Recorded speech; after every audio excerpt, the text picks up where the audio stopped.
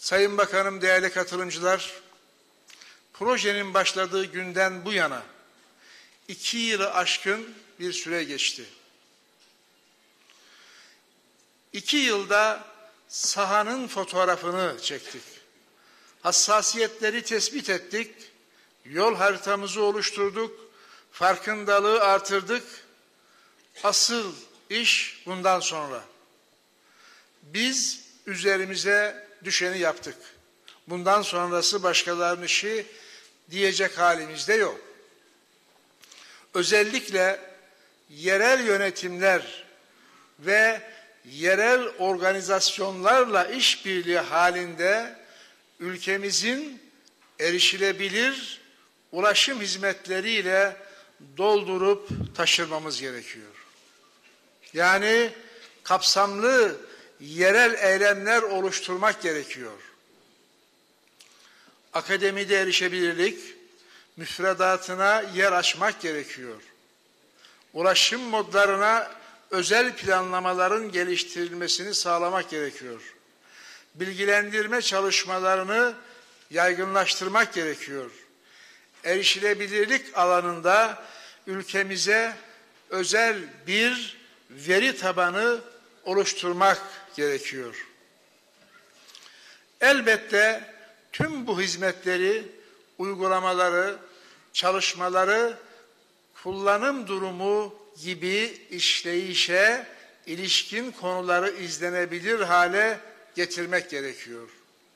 Bunları yaptıktan sonra ülkemiz erişilebilir ulaşım hizmetleri konularında önemli mesafeler kat etmiş olacaktır.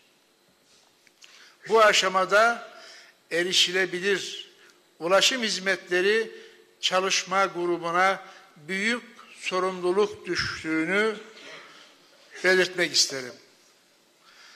Kıymetli katılımcılar, takdir edersiniz ki bir işe başlamak önemli ancak daha da önemli olan o işi tamamını erdirmek yani amacına, maksadına ulaştırmak. Bu nedenle bu salonda bulunan herkese büyük görev ve sorumluluklar düşmektedir. Projenin devamlılığında e, devamlılığında emek vermek, inanarak işe dört elle sarılmak, empati yapmak elbette çok önemli.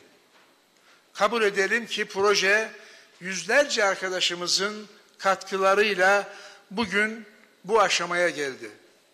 Adlarını tek tek sayarsam da hepsine saymasam da hepsine gönülden teşekkür etmek istiyorum.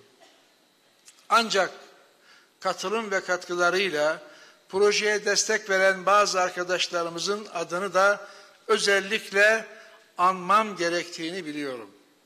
Zira bu arkadaşlarımız zoru başarmanın en güzel örneklerini bize yaşatan evlatlarımız. Avrupa şampiyonu ve dünya ikincisi milli yüzücümüz Sümeyye Boyacı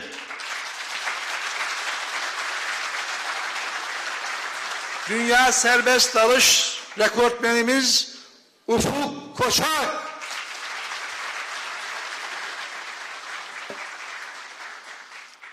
Okçuluk dünya şampiyonumuz Bahattin Hekimoğlu. Türkiye karate şampiyonumuz Volkan kardeşler. Yaşar Üniversitesi Yazılım Mühendisliği okul birincimiz Şeyda Melis Türk kahraman. Bu kardeşlerimiz milyonların gurur kaynağı oldu. Adlarını anarak teşekkür etmek istediğim iki evladımız daha var. Bunlar projemizin başından bu yana birçok ulaşım modunu deneyimleyerek değerli katkılar sunan Hüseyin Burak Akbulut ve Hasan Buğra Akkurt kardeşler. Allah yollarını her daim açık eylesin. Değerli katılımcılar, konuşmamı burada sonlandırırken katılım ve katkılarınız için bir defa, bir defa daha sizlere teşekkür ediyor. Hepinizi saygıyla selamlıyorum. Yazılım mühendisliğini okul birincisi olarak bitiren bir gururumuz, yıldızımız Şeyda Melis Türk Kahraman'a, Sayın Bakanımız, evet ödülü takdim ediyorlar, hediyeyi takdim ediyorlar. Çok teşekkür ediyoruz. O da bizlerle birlikteydi. Ve bir diğer isim. Hedefim dünya şampiyonasında birinci olup İstiklal Marşımızı okutmak. Engelliler için spor yapmak engel değildir. Herkesi spor yapmaya davet ediyorum diyen ve kendisi de örnek olan bir isim. Volkan kardeşler geliyor şimdi.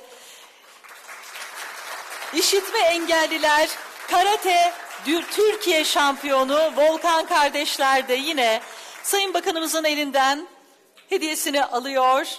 İşitme engelliler karate Türkiye şampiyonu Volkan kardeşler. Alkışlarınızla efendim tekrar teşekkür ediyoruz.